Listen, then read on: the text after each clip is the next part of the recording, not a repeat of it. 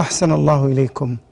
فضيلة الشيخ هذا السائل يقول ذهبت إلى شخص آه، ليقرضني فقال لي بع السيارة هذه وثمنها يكون قرضا لك فهل هذا العمل صحيح أو من القرض الذي جر نفعا؟